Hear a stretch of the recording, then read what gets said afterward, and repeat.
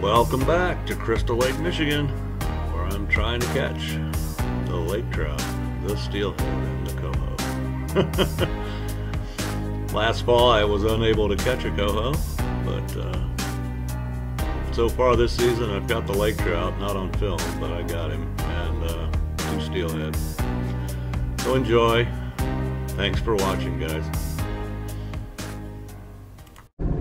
My depth lines every 10 feet and then skip 10 feet it uh, it makes it real easy to see where you're at. I'm fishing at 57 feet of water right now.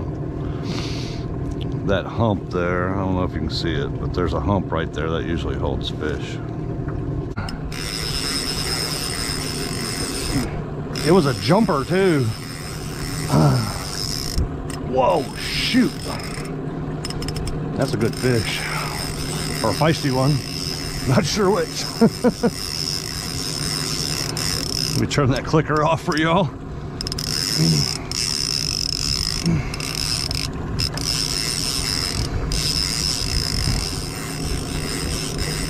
I don't know, it might not have been him jumping, but I could have sworn it was jumping back there.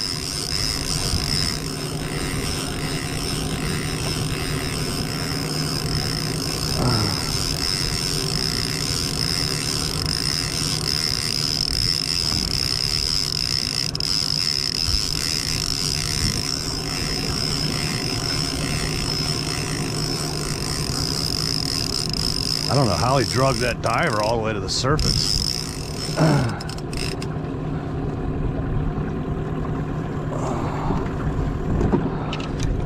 Let's see what we got here.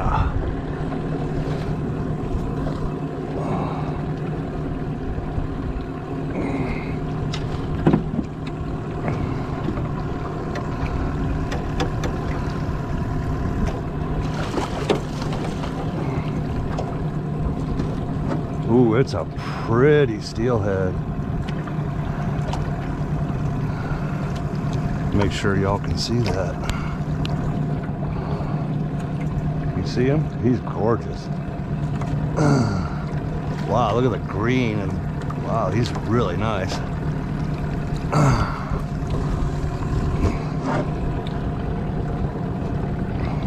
What a great fish. Wow.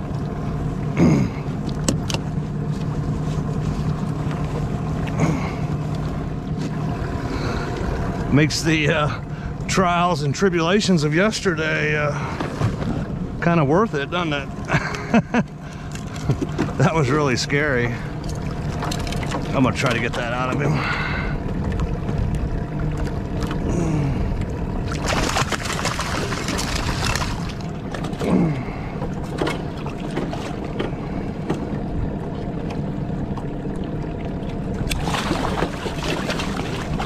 Not today.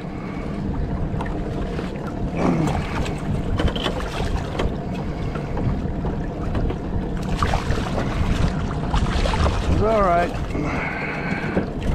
We got this. There we go. Oh.